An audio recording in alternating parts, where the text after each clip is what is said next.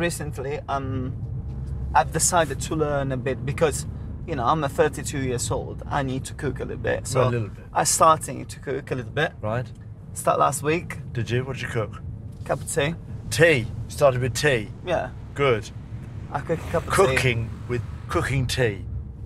Yeah, I think that's A start. a good start. It's a good it's start. it's a brilliant start.